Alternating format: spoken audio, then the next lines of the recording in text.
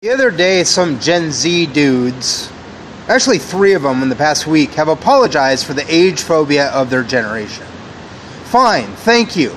But without phone numbers of these women of your generation, you're lying to me. Have the hookup. Help me out here. Where are the women at? They're on your phone. You have their phone numbers. Help me out. You're not helping me at all. Yes, black lives do matter. I am of the political left. Fuck the police. Fuck oppression against women. How many times do I gotta say this? If I don't get pussy, you're making it about money. You're not a communist. You're making it about money. We can't just hang out and talk. We could do that too. Stop! Age phobia!